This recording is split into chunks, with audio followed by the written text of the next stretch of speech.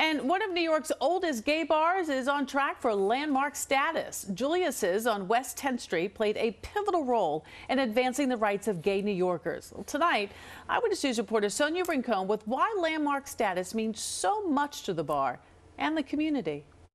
If Julius's bar looks familiar, you might have seen it in movies and TV shows.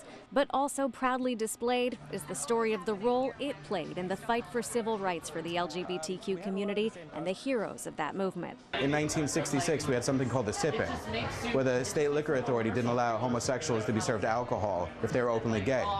So uh, they, they staged a SIP-in here, and there was a, a lawsuit. The SIP-in and lawsuit, even before the Stonewall uprising around the corner, would help change New York law.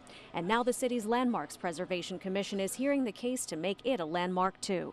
Designating the Julius's Bar building as an individual landmark would officially recognize its centrality to the history of the city's gay rights movement the bar, which has been in business since the 1860s, is full of other neatly preserved history, from woodwork with cheers in multiple languages, likely from just after the Prohibition, to a portrait in oil paint from the 1920s, believed to be a mafia girlfriend. And some of the cash registers back there have been there since 1941.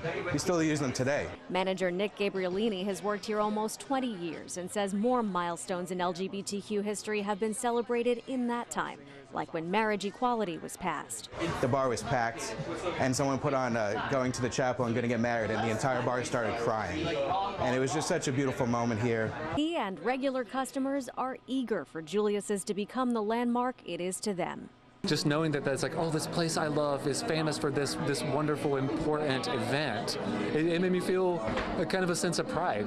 Like like we all like all of us regulars who come here week after week for decades, like we kind of feel kind of a kinship and ownership.